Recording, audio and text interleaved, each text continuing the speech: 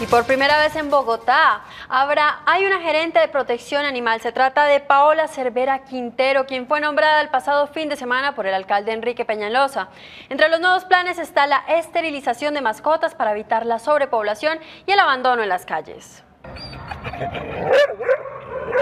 En Colombia, 6 de cada 10 familias cuentan con una mascota en su casa. Se estima que solo en la ciudad de Bogotá hay aproximadamente 100.000 perros y 329.000 gatos.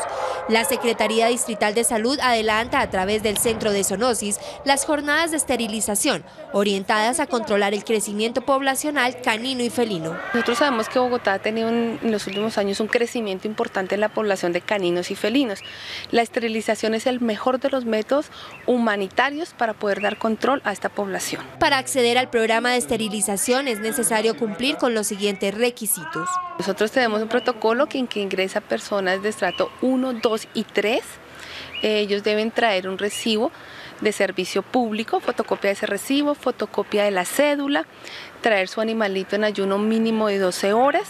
Aquí se reciben caninos y, y felinos, hembras y machos entregamos 25 turnos los días martes, miércoles y jueves. Los beneficios de esterilizar a su mascota son múltiples. Puede prolongar la vida del animal, reduce la agresividad y se vuelven más caseros.